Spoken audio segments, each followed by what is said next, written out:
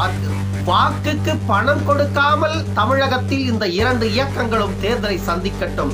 இந்த இரண்டு இயக்கங்களும் உண்மையிலேயே டெபாசிட் கூட வாங்க முடியாது. மக்கள் மீண்டும் மீண்டும் வாக்களிக்கிறார்களே என்ற கேள்வி வரலாம்.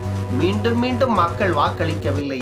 மீண்டும் மீண்டும் மக்களுக்கு பணம் கொடுத்து வாக்கை இவர்கள் விலைபேசி விடுகிறார் அந்த விலைபேசி விடுகின்ற காரணத்தால் தான் வேறு வழியே இல்லாமல் அநீதிகள் மீண்டும் மீண்டும் நாட்டை சூழ்ந்து கொண்டு பாட்டாளி மக்கள் கட்சி ஆளுகின்ற அரசுக்கு சாதகமாக செயல்படுகிறது. பாட்டாளி மக்கள் கட்சி திராவிட முன்னேற்ற கழகத்தை நெருங்குகிறது.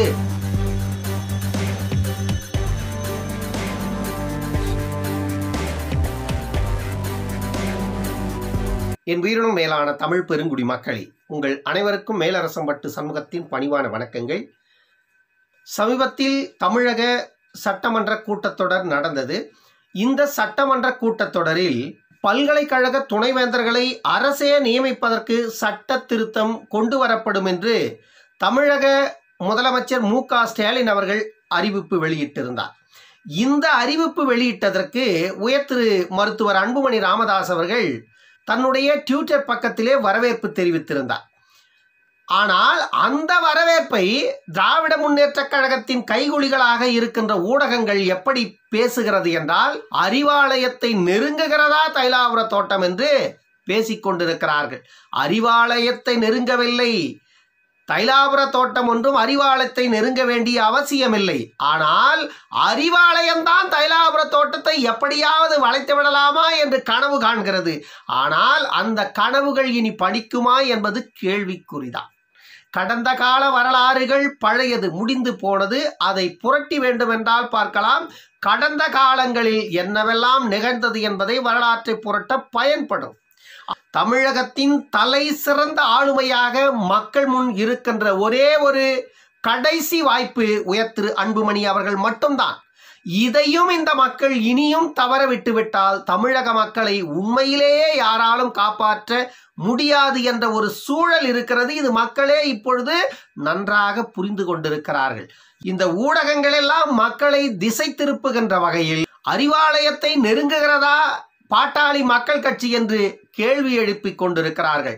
ஏன் அறிவாலயத்தை பாட்டாளி மக்கள் கட்சி நெருங்க வேண்டும்? அறிவாலயம் வேண்டும் என்றால் விரும்பலாம். பாட்டாளி மக்கள் கட்சி எப்படியாவது நமக்கு வேண்டும் என்று ஆனால் இன்று இருக்கின்ற சூழ்நிலையில் அப்படி ஒரு வாய்ப்புகள் என்பது மிக மிக குறைவுதான். பாட்டாளி மக்கள் கட்சியை பொறுத்தவரையில் சரியாக ஒரு செயல் திட்டத்தை எந்த அரசு கொண்டு வந்தாலும் செயல்பாடுகளை எந்த அரசு முன்னெடுத்தாலும் அதை வரவேற்கும்.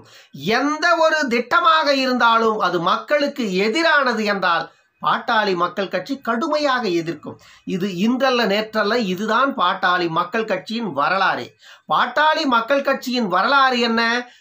தமிழகத்தில் பொதுவாக சம நீதி வேண்டும். அது சம அளவில் வேண்டும். ஏற்றத்தாழ்வுகள் என்பது கூடாது. அனைவருமே ஒரு நிலைப்பட வேண்டும். ஒரு நிலைப்பட வேண்டும் என்றால் விகிதாச்சார உரிமை ஒவ்வொருவருக்கும் வேண்டும். இதைத்தான் பாட்டாளி மக்கள் கட்சி தொடர்ந்து முன்வைத்துக் கொண்டிருக்கிறது. ஆளும் இயக்கமோ இல்லை ஆண்ட இயக்கமோ அப்படிப்பட்ட நோக்கங்கள் அவர்களுக்கு ஒருபோதும் கிடையாது. அவர்களின் நோக்கம் என்ன? யாருக்கு எதை செய்தால் அந்த வாக்கு நமக்கு வரும்? இப்படித்தான் அவர்களின் நோக்கமே தவிர இங்கு சமநிலையை பற்றியோ சமநீதியை பற்றியோ மக்களின் பொருளாதார வளர்ச்சியை பற்றியோ வேலை வாய்ப்பை பற்றியோ எதிர்கால தலைமுறைகளின் வளர்ச்சியை பற்றியோ சிந்திக்கின்ற அரசு தமிழகத்தில் ஐம்பது வருஷமாகவும் அமையல.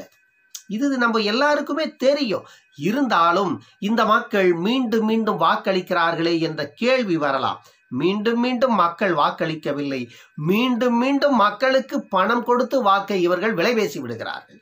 அந்த விலைபேசி விடுகின்ற காரணத்தால் தான் வேறு வழியே இல்லாமல் அநீதிகள் மீண்டும் மீண்டும் நாட்டை சூழ்ந்து கொண்டு அந்த சூழ்ச்சி வலையிலிருந்து மக்கள் வெளியே வர முடியாமல் தத்தரித்து கொண்டிருக்கின்ற ஒரு அவல நிலையை நாம் பார்க்கிறோம். வாக்குக்கு பணம் கொடுக்காமல் தமிழகத்தில் இந்த இரண்டு இயக்கங்களும் தேர்தலை சந்திக்கட்டும். இந்த இரண்டு இயக்கங்களும் உண்மையிலேயே டெபாசிட் கூட வாங்க முடியாது. இரண்டாயிரத்தி பதினாறு சட்டமன்ற தேர்தலில் வாக்குக்கு பணம் என்ற வார்த்தையே இல்லாமல் இருபத்தி நான்கு லட்சம் வாக்குகளை அள்ளியது என்றால் அது சாதாரண விஷயம் அல்ல. ஆனால் இவர்கள் எப்படி எப்பொழுது வெற்றி பெற்றார்கள் என்றால் இப்பொழுதும் எப்படி வெற்றி பெறுகிறார்கள் என்றால் வாக்குக்கு பணம். விலை பேசுகிறார்கள் வாக்குக்கு இரண்டாயிரம் மூன்றாயிரம் பத்தாயிரம் என்று.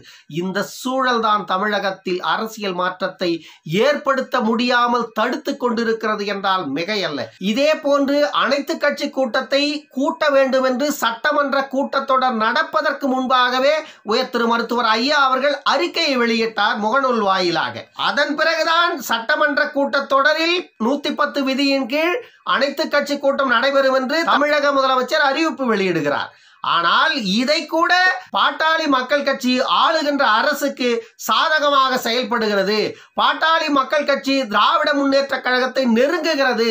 இப்படியெல்லாம் ஒரு உருட்டல்களையும் புரட்டல்களையும் மக்கள் முன் கொண்டு போய் திணித்துக் கொண்டிருக்கிறது இந்த ஊடகங்கள். ஆனால் இதில் இருக்கும் உண்மை நிலையை முதலில் மக்கள் புரிந்து கொள்ள வேண்டும்.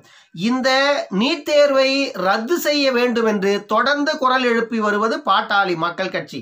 பாட்டாளி மக்கள் கட்சியின் கையில் ஆட்சி இல்லை. ஆனால் ஆட்சியில் இருப்பவர்களை பாட்டாளி மக்கள் கட்சி எளிதில் விடுவதில்லை. அதற்காக தங்களை ஒருபோதும் பின்னகர்த்தி சென்றதும் இல்லை.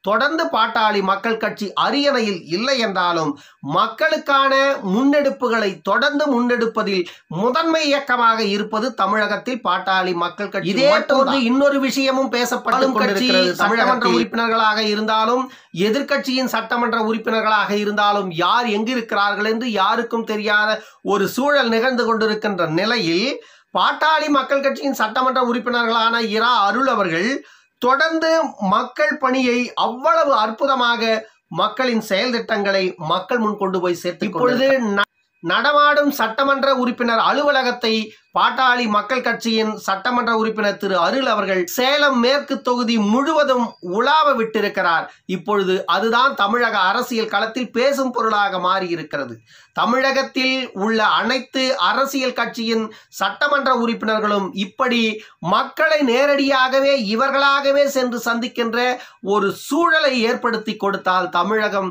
வளர்ச்சி மிக்க மாநிலமாக மட்டுமல்ல எந்த ஒரு தொகுதியில் உள்ள மக்களுக்கும் சட்டமன்ற உறுப்பினர் யார் என்றே எனக்கு தெரியவில்லை என்று சொல்லுகின்ற அந்த நிலை ஒருபோதும் இருக்காது. சட்டமன்ற உறுப்பினர் என்பவர் எப்படி இருக்க வேண்டும் என்பதற்கு உதாரணமாக திகழ்ந்து கொண்டிருக்கிறார் திரு அருள் என்றால் அது மிகையல்ல அதுதான் நிதர்சனமான உண்மை. தமிழகத்திலே மிகப்பெரிய சமுதாயம் இந்த வன்னிய சமுதாயம். இந்த வன்னிய சமுதாயத்தை பற்றி நாங்கள் பேசவில்லை என்றால் யார் பேசுவார்?